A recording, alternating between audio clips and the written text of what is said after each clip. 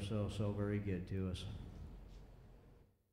And we would ask, please fill us with your Holy Spirit tonight, that we would be your witnesses, and then bring us those divine appointments.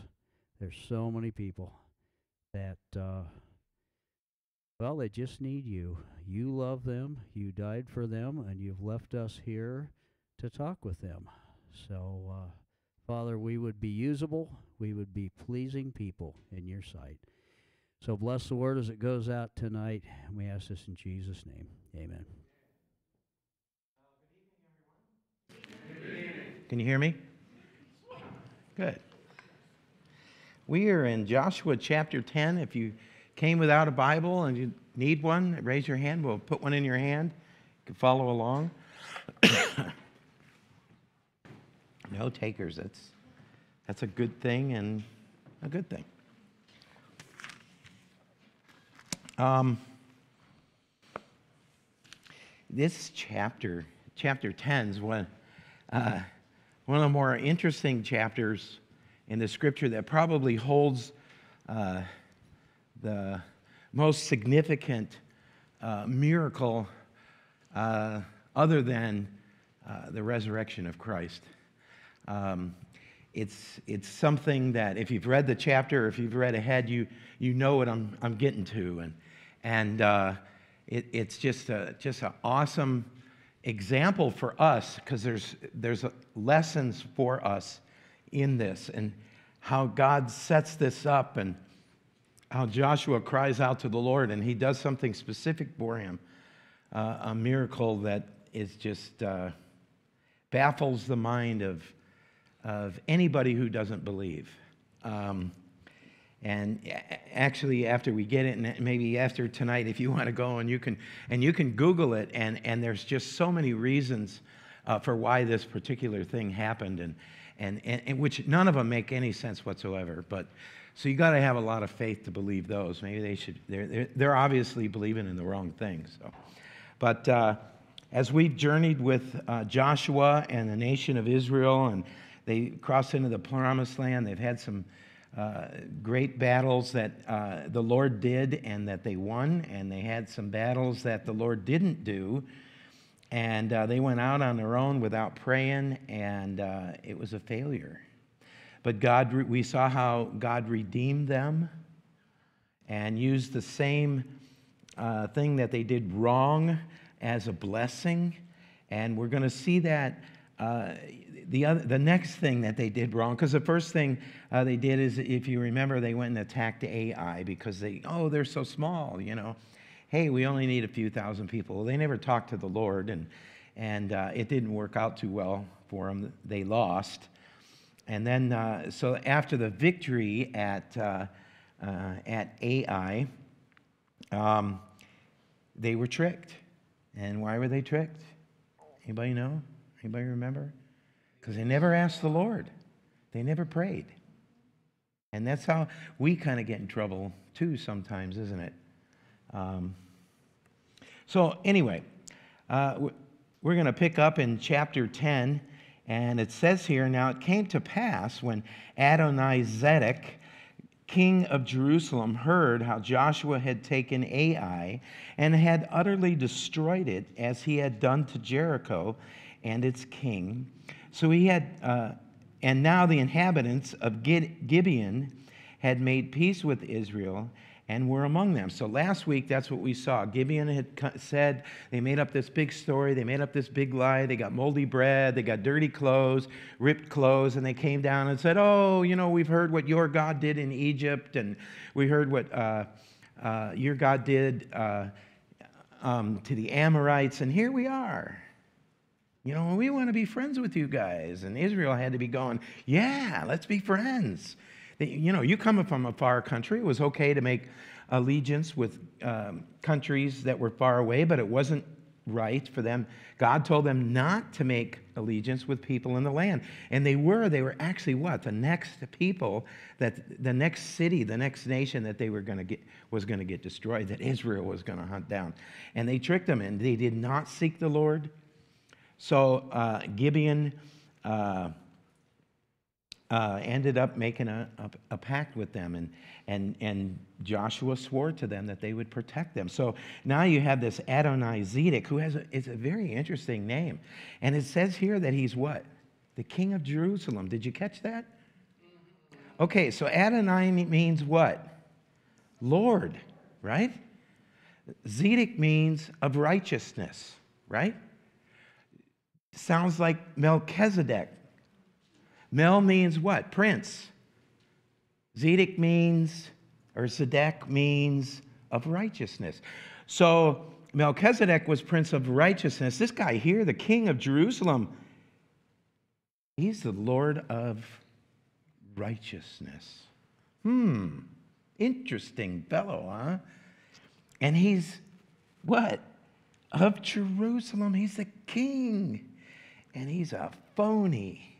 And he's an impostor. And he's an antichrist.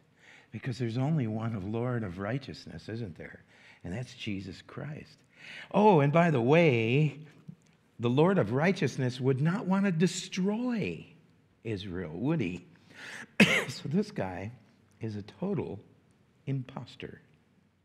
He's a fake. He's a phony. He has the name.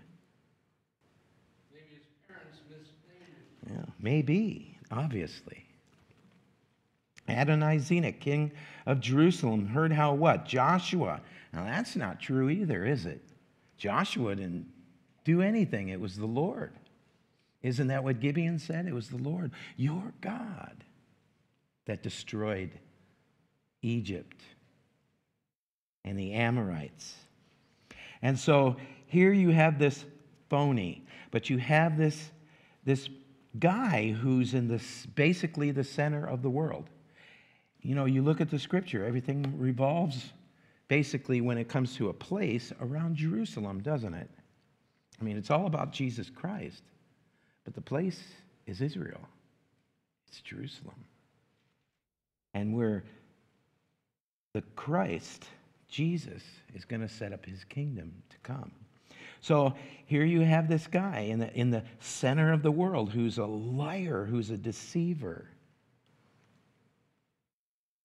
And uh, he says that Joshua had taken Ai and utterly destroyed it, and Jericho as well. So now they're going after Gibeon. It says in verse 2 that they feared greatly because Gibeon was a great city, like one of the royal cities, and because it was greater than Ai, and all its men were mighty. They had a pretty good stronghold in Gibeon, but now they're neutral in a sense. Uh, they won't become that way, but they're neutral. So they feared greatly because of of that because they were hoping that they would be on their side to fight Joshua. Therefore, Adonai Zedek, uh, king of Jerusalem, sent to Hoham, king of Hebron. Now, I can understand somebody naming their kid Adonai Zedek, not really, but to name your kid Hoham, what the heck are they thinking? Hey, Hoham, what you doing? Yeah. Anyway, uh, so here you had this other guy, Hoham, king of Hebron, Piram, king of Jarmuth, Japhia, king of Lachish, and Debir, king of Eglon, saying, Come back up to me and help me, that we may attack Gibeon, for it has made peace with Joshua and with the children of Israel. So this is kind of like the backbone of the land as, as Israel is going right up the middle, and then they're going to turn south and then go up north. Uh, they never totally uh, get all the land. Uh, they get pretty close, um, but they don't really get uh, all the land, and they won't until Jesus comes back. Now, it's kind of interesting, these names that, that are here, this, this Hoham, king of Hebron, uh, his name means crush or destroy. Uh, Hebron um, gives you the, uh, a, he has a name of like a spell or an illusion or a, a um, like a spell. So they're going to cast a spell on you. Uh, Piram, king of Jarmuth. Piram means uh, to run wild. Uh, Jarmuth is some, somebody that's haughty or self exalted. You getting the picture? Are we getting the picture here? Uh, then we have Japhia, king of Lachish. Uh, Japhia means uh, show off, somebody that's self exalted, uh, just like the Jarmuth guy or the city, um, but like a show off. Lachish means um, someone that's lifted up.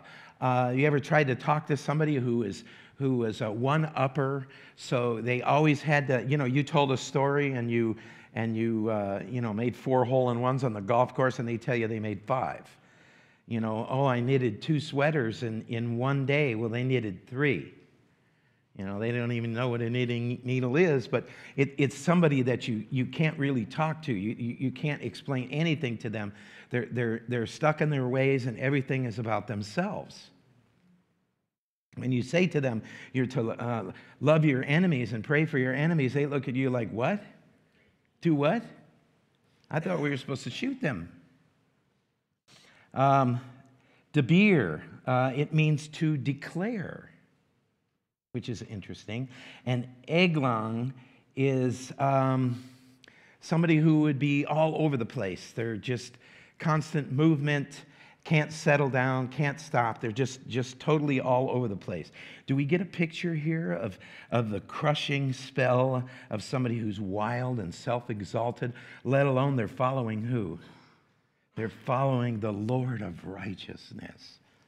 Do you get this picture of why, why God is going to destroy these nations?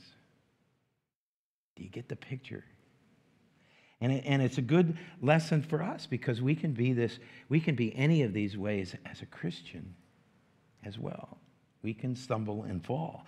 We can be self exalted. We could think that, uh, you know, we are, uh, God needs us. And without us, you know, God, I'm sorry, but you can't do much. And we can get that way. So, Verse 4 says, Come up to me and help me, that we may attack Gibeon, for it has made peace with Joshua and with the children. So he's getting these guys together. This Antichrist is going to go in and now fight Joshua. Uh, just like, uh, uh, you know, in Revelation, how the Antichrist gets together with a group of nation and, nations and what? Goes to fight the second Joshua, Jesus Christ, right?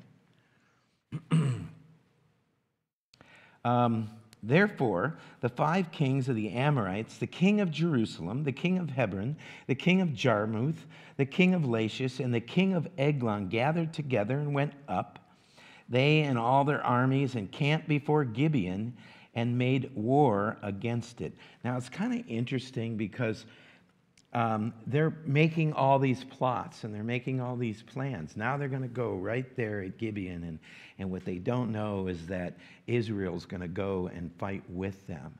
That the God Almighty, the creators, creator of the heavens and the earth, is going to be fighting against them. And, and, and all these, interesting because all these nations, all these heathen nations, get together to fight against God.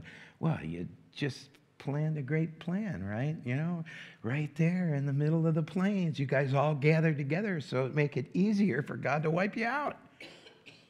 That's some real good plan in there. Let's go after this.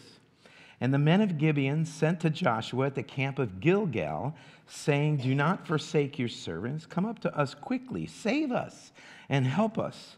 For all the king and the Amorites who dwell in the mountains have gathered together against us. So Joshua ascended from Gilgal, he and all the people of war with him, and all the mighty men of valor. So Joshua gets the men to get together, and look at that word ascended. So they ascended, they went up. And with him and the mighty men of valor. And the Lord said to Joshua, Do not fear them, for I had delivered, delivered them into your hand. Not a man of them shall stand before you. Now, it's kind of interesting um, because God is gathering these, these people together that want to fight against him. God tells Joshua, Look, I got this. I got this. It's okay. Do not fear, he says in verse 8. I have delivered them into your hand. Not a man of them shall stand before you.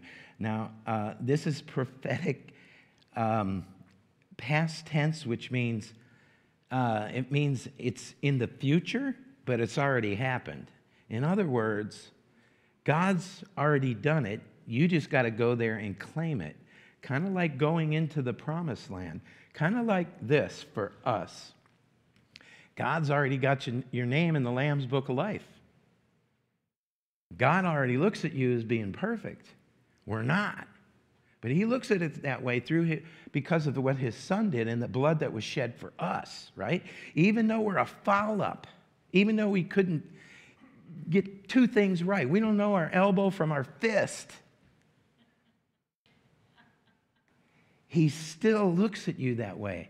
You're already in heaven with him, in a sense. It's already a done deal. It's just time to walk through the door. And when we're finished doing our work here on earth, then we're going to be walking through the door.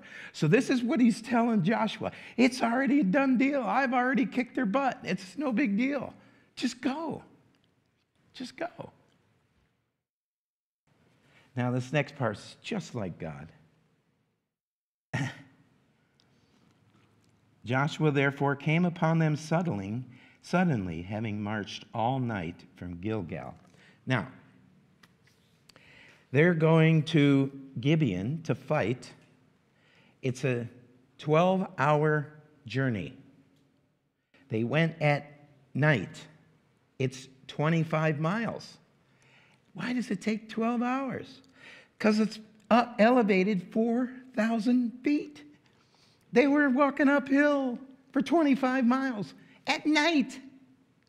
Now keep that in mind because as soon as they get to the ridge at the top of the mountain, you know who's there? The enemy. So then they got to start fighting.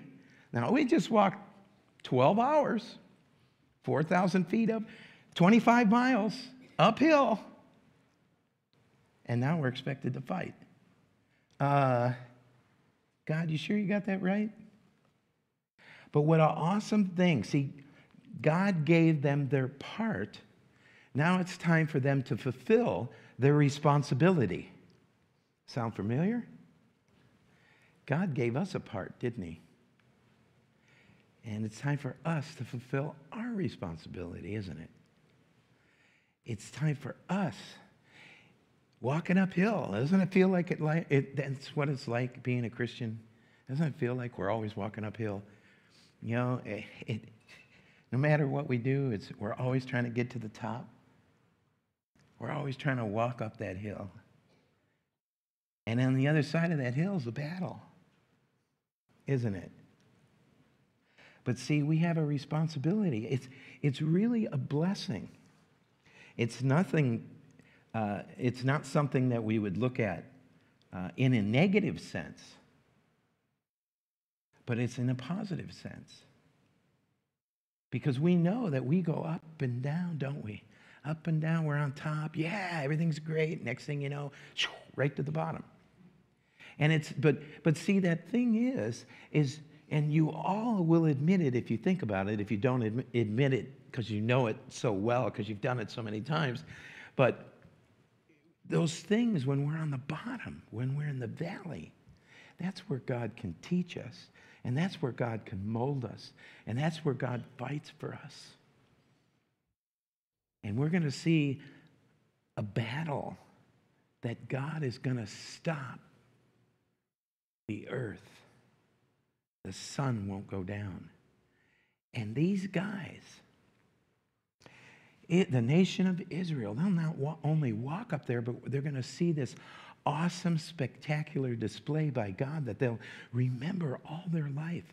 And then, as they chase these guys, they realize that, hey, there's not enough time in the day to wipe these guys out. And, and Joshua's going to cry out and say, Lord, stop the sun. And he does. And it's kind of like a picture in our life as we go through the battles and we go through the, the struggles and We need to step up and say, Lord, you know, I can't do this. Stop the sun. Stop this noise in my head. Stop all the deception that I go through. Stop this so I can live for you, that I can do what's right and not have to fight this fight. Let's fight this fight now and get it over with. Stop the sun. Make the sun stand still. So here they are on this trek up this up this mountain, up 4,000 feet, 12 hour, 25 mile journey. And it says, So the Lord routed them before Israel, killed them with a great slaughter at Gibeon, chased them along the road that goes to Beth Horon, and struck them down as far as Azekah and Makkedah. Now, it's kind of interesting. Beth Horon means the house of wrath. Okay? Now, get this picture. Azekah um, means fenced in, and Makkedah means hoarded. So, God, okay, is hoarding them into this fenced in area called the house of wrath and Israel's going to destroy them. See, you know, I used to wonder all the time why does God give us these weird names? Until I started looking them up and realized what it gives you a picture of what's going on. Can we see it? Can we see this picture of these, uh, the, these nations, these, these nations that were coming against God, coming against Joshua, how he hoarded them in? And then how he fenced them in in this place called the house of wrath. Interesting, isn't it? Just like our God. Uh, verse 11 And it happened as they fled before Israel and were on the descent of Beth Horon that the Lord cast down large hailstones from heaven on them as far as Azekah, where they were fenced in. And they died there were no more who died from the hail. There, there were more who died from the hailstones than the children of Israel killed with the sword. So here they are. They're up on the top of this mountain. They come over the top. They, they, they, they were up all day. Then Joshua decides, let's go at night. So they get there at night.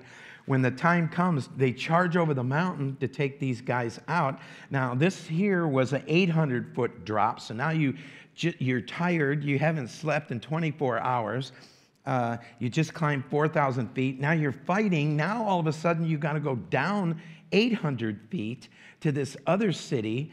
And now, uh, if you go, if, now, if you go to Israel, you could see all of this. And they kind of had like, uh, I don't know, I guess best word I could use was like platforms. Like, okay, so you climb up the stairs so many steps, and I think it's code, and then you have this platform so you can walk sideways and then you go up the you know how that is when you go somewhere and there's a, a lot of steps there's there's a platform to give you rest i guess so these this place actually has if you go and look you'll see there's a a natural uh, platform uh, you know a plateau that kind of flattens out and then you keep going down but they come over the hill and they kill these guys now they're heading down and what happens the lord goes before them and drops these hailstones on top of them of the people and more hailstone, hail, the hailstones killed more uh, people than the children of Israel did. Pretty awesome. Pretty awesome. Um, kind of interesting that, uh, uh, you know, something for you, if, if, if you look up this word hailstones, and it's not hail like we think, but it's rocks.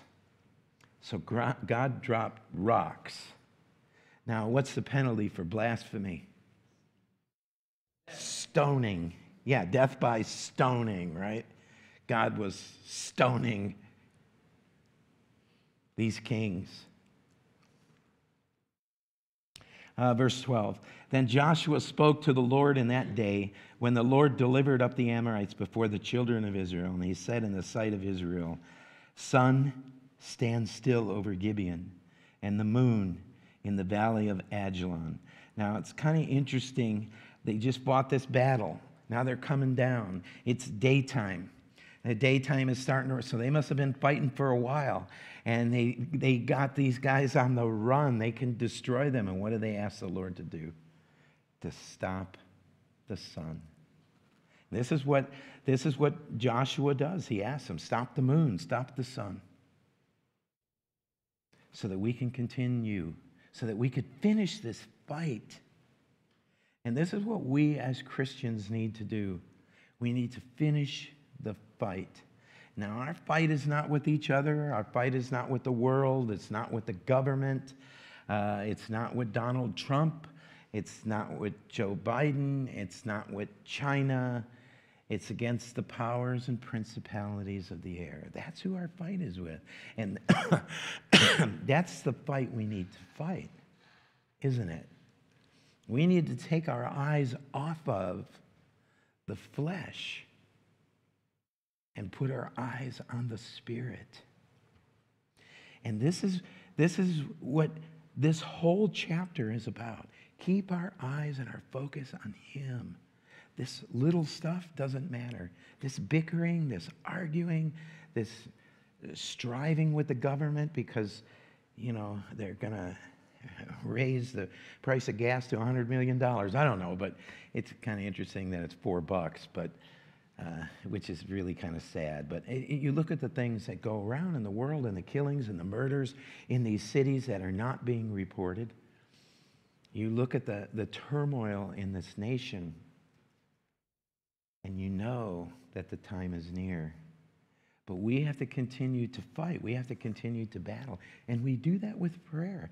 And here Joshua says, he spe- speaks to the Lord in that day when the Lord delivered up the Amorites before the children of Israel.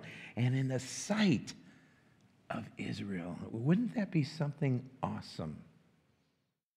Let alone all these stones coming down from heaven, plopping on these people let alone having to, and, and I can guarantee you, because this is just like the Lord, you know, they spent 40 years in the desert. Did their shoes wear out? No. Did their clothes wear out? No. Did they go without a meal? No. They were all perfectly healthy when they came out of it. I can imagine these guys, you know, were running up this mountain, even Joshua, as old as he was, probably running up this mountain like he was a kid. Because it was Lord's led. It was the Lord that led it. You know, you take an old man like Peter. I mean, he wasn't that old, but we look at him as being one of the older guys of the apostles, and, and they were out fishing after Jesus was resurrected, and, and they, uh, they didn't catch any fish. And he, he called and he said, Hey, did you guys catch any fish? I'm paraphrasing all of this. So, uh, hey, did you catch any fish? And, and, he, and uh, they said, No, we didn't catch any. He said, Well, throw it over on the other side of the boat. So they threw it over, and they got all this fish to where the boat almost tipped over. So then uh, they recognized that it was uh, Jesus. So Peter jumps in the water and he goes running over there, you know, and the other guys are pulling in all this fish and they bring the boat up and, and, uh, and uh, uh, God said to Peter to bring in the fish. And, and it says in the scripture that he picked it up and he moved it. Okay, so they couldn't move it almost to where it tipped over the boat. But Peter manhandles this and pulls it ashore I guarantee you we get to heaven. Well, I don't guarantee it, but we get to heaven, and Samson's probably going to be some little short guy, you know, three foot eight, weighs about 64 pounds, with long hair. With long hair. Because you know, with God, you can do anything, right? So here, Joshua cries out in the sight of Israel. He says, Sun, stand still over Gibeon, and moon in the valley of Ashkelon. So the sun stood still. Wow. Now, I don't know about you, but I've read that several times and I get goosebumps each time. Joshua, much better man than I am, or ever will be, but you have the creator of all things Listen to a man. Sun, stand still. And it did. And it did. And it's encouragement for me, and it should be encouragement for you that I can ask the Lord, that you can ask the Lord, Lord, help me. Lord, have the sun stand still so that I can fight this battle. That we together can fight this battle. And he would hear us. So the sun stood still and the moon stopped till the people had revenge upon their enemies. How long was that? No idea. Now it's kind of interesting because, like I said, if you if you Google this stuff, you, you'll get all kinds of people telling you all kinds of things. Well, come out to the bottom line is okay. So if this didn't happen, all right, how come there was no people in the nation of Israel got hit with them rocks? Uh, God's a bad aim? You know, he's a very good aim. What do you mean that didn't happen? Okay, well, in Egyptian history, Babylonian history, and Greek history, uh, and the Chinese emperor all wrote of a long day. Hmm. All right. Well, yeah. So the Incas on the other side of the world wrote of what? A long night. Hmm. Nah. It's more plausible that it was an earthquake.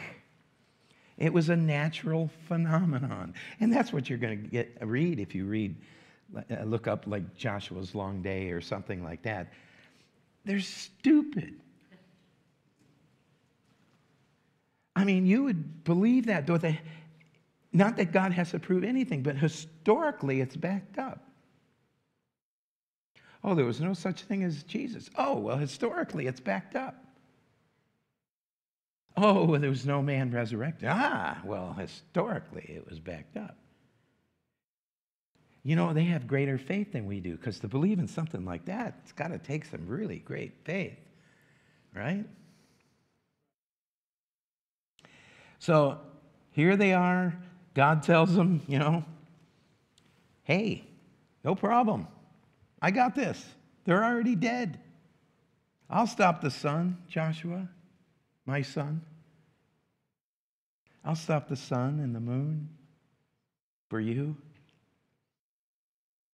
Is this not written in the book of Jasher? Now, there is actually, you could go online and order this book, not the one that actually has this on there, but there is a, a, very historical book um, called Jasher. So the sun stood still in the midst of heaven and did not hasten to go down for about a whole day. Now, let's, do we have this picture of these guys being up all day, being ready to go to battle? And Joshua says, Okay, it's nighttime. Let's run up this mountain. Going up 4,000 feet, 25 miles. Oh, and we got to be there by daybreak. Oh, and we got to get in a fight. And then we got to turn around and we got to chase them down the hill and fight with them. Oh, and then God's going to take all these stones and he's going to stone them. Oh, and then we're going to keep running, and the day's going to keep going on because we're going to keep chasing these guys. Uh, Joshua, are you nuts? You're crazy, right? It's kind of like let's go walk around this building for a week and do nothing. and there had been no day like that before it or after that that the Lord heeded the voice of a man, for the Lord fought for Israel. Then Joshua returned, and all Israel with him to the camp at Gilgal. I don't know how long they were up. Sounds like, what, two full days or something? Maybe even longer than that. Uh, how long the, the moon and the sun stood still, I have no idea. How did God do it? I have no idea, but He does, and He can do it. He created it. He could slow down his, maybe tip it further on its axis. You know, obviously, he probably didn't just stop all at once, although he might have, but I would have thought we would have all flown off. That's what I've heard. I don't know, that's never happened, so really doesn't really matter what they say. But God could have done whatever he wanted. He could have just slowed it down to the to, to so slow. To so slow that it seemed like it stopped. I don't know. But you know what? I far believe that than, than an earthquake. And my heart, is just so overwhelmed when I think that Joshua would ask the Lord that and he would do that. Just like that. And it, which is really kind of awesome because when you think about it, you'd have to have a really great relationship, wouldn't you? You know, I, I always think of Paul and, uh, you know, when he had that thorn in the flesh and he was kind of complaining to God, although he wasn't, but he kind of was. And he was saying, uh, you know, Lord, I prayed to you three times. I still have this. What's going on? And I think of that and I think, wow, you know, I've prayed, prayed for months and years and stuff. And not that the Lord's not working, but to have that re- type of relationship that you would say, Lord, you know, I, I've asked you three times, hey, get rid of this thorn in my flesh. And sometimes the Lord does answer and I don't hear, and that's probably the problem. And I just keep right on going on and asking again and again and again. I'm like that woman that kept coming to the king and asking her every time. Finally, he just gave in. He said, Okay, forget it. I'll give it to you because I don't want to have to deal with you anymore. But what an awesome relationship Joshua must have had. And in a way, it should make us envious, but in a good way, that we would want to be like that, that we would want to have that relationship. Obviously, the only one we want to be like is Jesus. They have a relationship like that. That's really awesome. You know, I get to heaven, I'm going to have to ask Joshua, okay, did it really stop or was it moving really, really slow? It just, you know. No, I'm not really going to ask that because we'll know all things when we get to heaven, won't we? And there had been no day like that before or after that the Lord heeded the voice of a man, for the Lord fought for Israel. Then Joshua returned, and all Israel with him to the camp at Gilgal. But these five kings had fled and hidden themselves in a cave uh, at uh, Makkedah, which is the herded place. Um, so he's herding them together again for the nation of Israel. And it was told Joshua, saying, The five kings have been found hidden in the cave of Makkedah. So Joshua said, Roll large stones against the mouth of the cave and set men by it to guard them. And do not stay there yourselves, but pursue your enemies and attack their rear guard. Do not allow them to enter their cities, for the Lord your God has delivered them into your hands. So they didn't want to stop. They just put rocks in front of the cave that they were in, and they kept right on going and fighting. Right on going. God called them to do a job. Their responsibility was to fight these nations. And they did it. And they kept doing it. You know, it's kind of interesting because all the bad things we think of the nation of Israel, what they did, you know, they complained all the time. What are you giving us this manna? What is it? Come on, what do, you know, we, we had it better. You're trying to kill us here in the desert.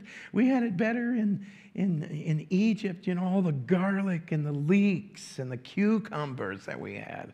Oh, and the meat, the meat that we, what are you talking about? You guys were slaves, you get nothing. But you look at them here and you see this, and they see that, hey, let's go walk 12 hours, 25 miles, up 4,000 feet, and then fight. Oh, and then God will extend the, the day to another day, and you're going to keep fighting. And you're going to chase these guys. Oh, and you got their kings, but psh, nope, keep right on going. I think they fulfilled their responsibility. Well, at least for a period of time, right? Verse 20 Then it happened while Joshua and the children of Israel made an end of slaying them with a very great slaughter, till they had finished that, that those who had escaped entered 40 fortified cities. Um, and, the, and all the people returned to the camp to Joshua at Makkedah in peace. No one moved his tongue against any of the children of Israel. Then Joshua said, Open the mouth of the cave and bring out those five kings to me. So, this Antichrist gets these nations together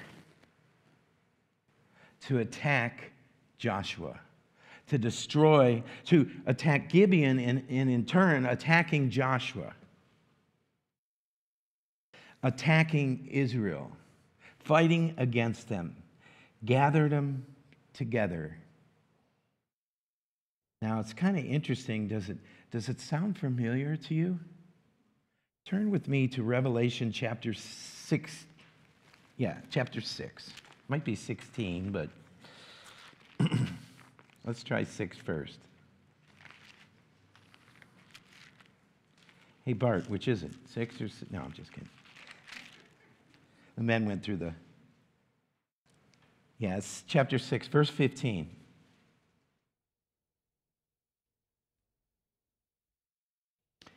And it says this And the kings of the earth, the great men, the rich men, the commanders, the mighty men, every slave and every free man hid themselves in the caves and in the rocks of the mountains. God's herding them together. And said to the mountains and rocks, Fall on us and hide us from the face of him who sits on the throne and from the wrath of the Lamb. Interesting picture, isn't it? Here, all the way back in Joshua. In the end. What verse was that? 15.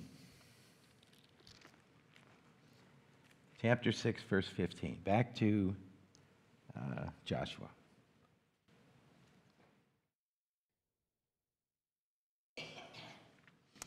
Okay, and so and they did so and brought out those five kings to him from the cave, the king of Jerusalem, the king of righteousness, right? The king of Hebron, the king of Jarmuth, the king of Lachish, and the king of Eglon. So it was when they brought out those kings to Joshua that Joshua called for all the men of Israel and said to the captains of the men of war who went with him, Come, here, put your feet on the necks of these kings. And they drew near and put their feet on their necks. Then Joshua said to them, Do not be afraid, nor be dismayed. Be strong and of good courage, for thus the Lord will do to all your enemies against whom you fight. Partnership with God is what Israel had. Are we in partnership with Him? Are we fighting the fight with Him? Are we going out on our own like they did with Ai? And if you do, you know what? Just repent, turn around. God will redeem it. God will redeem it. So it's interesting because here they failed with uh, by not praying. They protected uh, Hebron, but, or I'm sorry, they, they protected Gibeon. So, in that protection, after their failure, what did God do? He used it.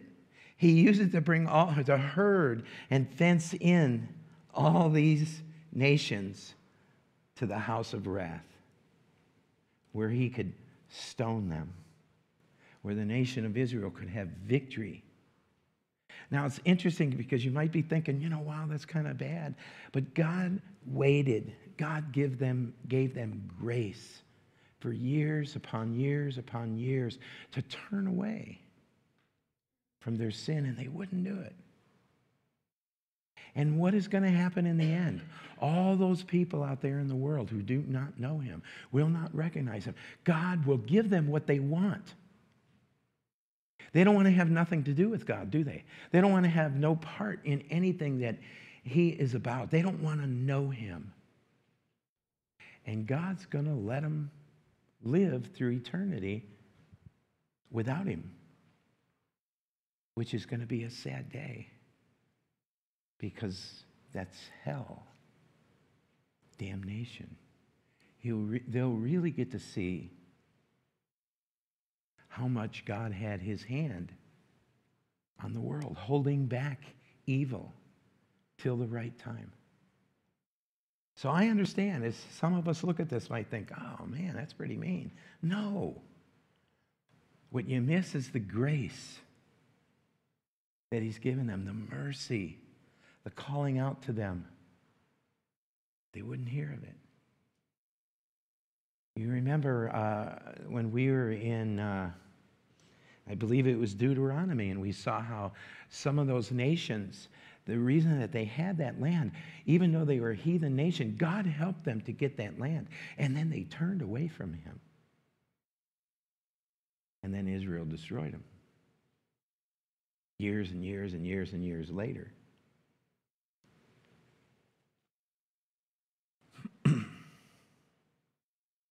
Don't be dismayed.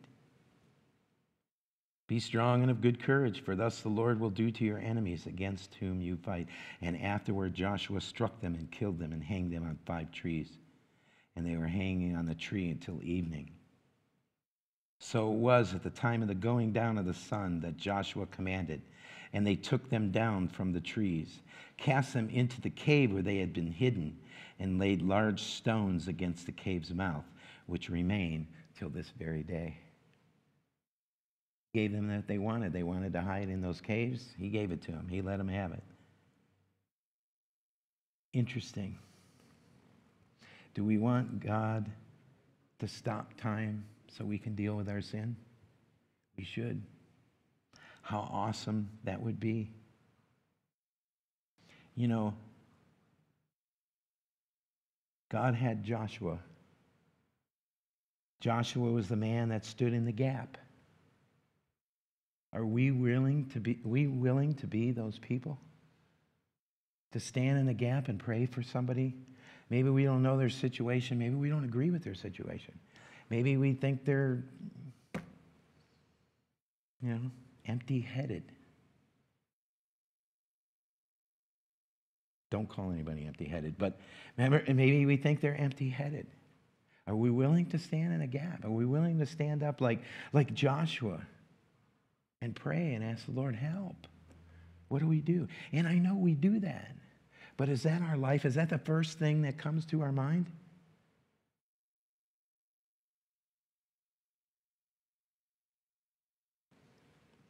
Is that what we're supposed to do?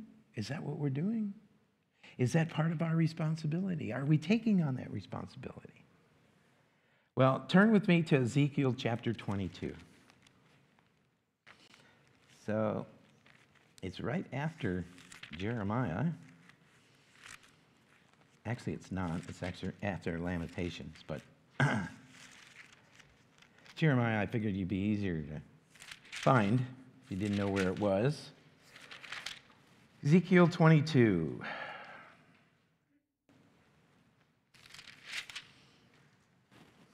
Okay, maybe I can't find it.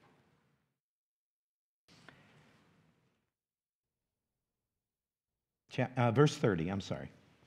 Chapter 22, verse 30, it says, So I sought for a man among them who would make a wall and stand in the gap before me on behalf of the land, that I should not destroy it.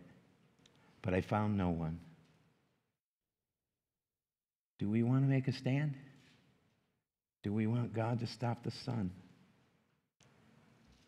Are we going to Him in prayer for the battles that we face? Or are we just kind of just existing, waiting for Him to come back so we could go home? Which is it?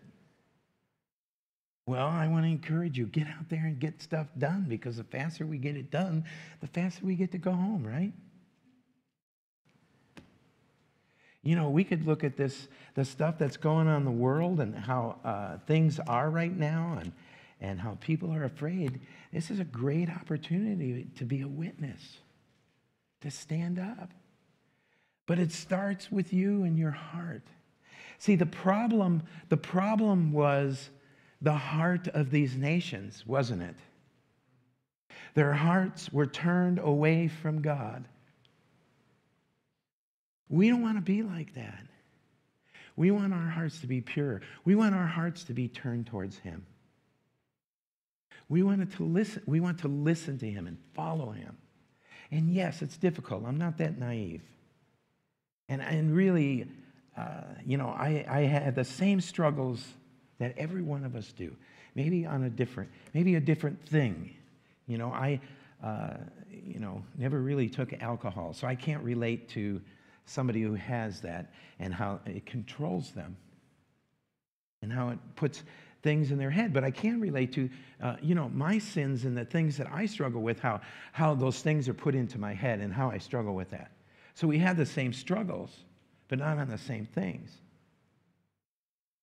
But see, can we go to the Lord and say, okay, Lord, I want to fight this, but I can't do it without you, and I won't do it without you.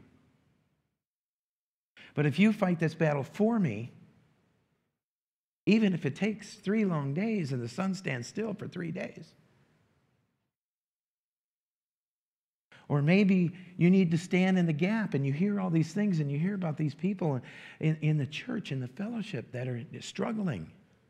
Are you standing in the gap for them? Are you praying for them? Are we praying for our land? Are we praying for our nation?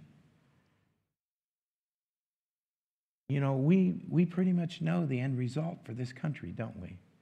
There's no recognition of it in the scripture, whether for the Lord or not. So obviously, we're maybe not in the picture or maybe a second world country. Yeah, I'd like to go home.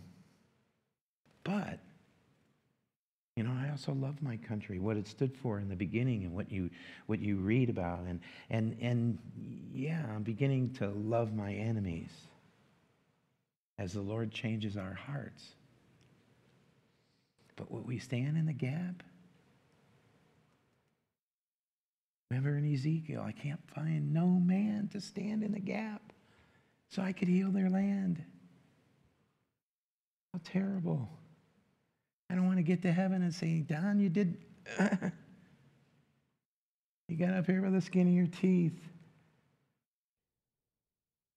But you know, I put all these things on your heart and you didn't want to stand with me and fight.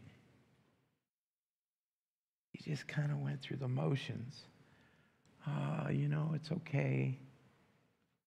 The Lord will forgive me. I'm still getting to heaven. Do we really want to tell the Lord that?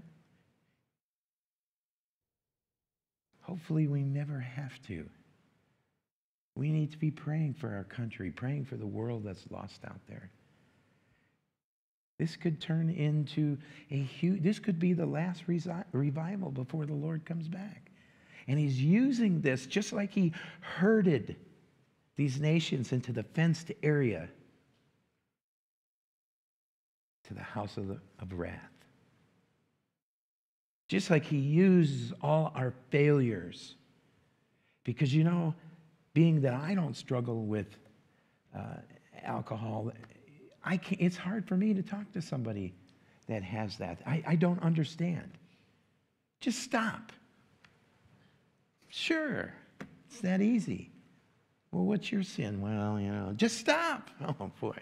Got me there. Now I feel like the Pharisees and the Sadducees and the scribes. Hypocrite. But someone who's went through that, God is redeeming it, gives you an open door. Or whatever it might be. You know, I always, when I go through things, I always think, okay, how's God going to use this? But, but that's after I whine and complain. Don't get me wrong, you know. And I asked three times, hey, Lord, you know, quit this. This is enough for me. It's actually more like 3,000 times, but what are we going to do about it? We heard it. He told us. Are we willing to walk 4,000 up 4,000 feet? 25 miles? 12 hour march? Oh, and then we get to the other side and we have to fight. We have to fight on the way down. But the Lord was there. And isn't that like our walk sometimes? We go up and we get to the peak, and it's great. I imagine when they got up there, they're like, yeah. And then, all no, we got to fight these guys? Hey, we haven't slept in a day. What are you doing? Great plan, Josh. Nice job. Appreciate it. Can we get a quick nap over here, you know. But no, God said keep moving, keep pressing forward. If you're tired, here, let me take care of this for you. Let me drop a few rocks. And then they keep battling. Do we see that here for us? Do we see this lesson? Do we see that you and God are a majority? You know, he could have just taken Joshua up there and done the same thing, couldn't he have? Oh, he didn't even use Joshua. Do you really think he needed the trumpets for Jericho? Come on. No, he didn't. So, what do you get out of this? Are we encouraged to fight? Fight to the end? Now remember, it's not a fight amongst ourselves. If it's flesh, it's, that's not the fight. The fight is spiritual. Stand in the gap. Get on your knees every morning. And, and sit there until the Lord brings you who he wants you to pray for. And pray for them. Stand in the gap. Pray for our country. Pray for our leaders. You know, uh, the Lord can take whatever it is our president has away from him anytime he wants. It makes him so forgetful and slur his words and forgot how to tie his shoes and whatever else it is that they, I don't know whether it's true or not, so I should, probably shouldn't say it, but if you listen to him, he, he's, yeah. But he needs prayer. He needs to get saved. That's what he needs. And isn't that what all of us needs? You know, I have a friend. He's a great guy. He's got problems. How do I solve these problems? I can't. What are you asking me for? You need Jesus. That's what you need. I've told this story before. I worked in a, in a, a Jewish community in Ohio, and uh, I met this one guy, and he was the kosher rabbi, and he basically ran the place.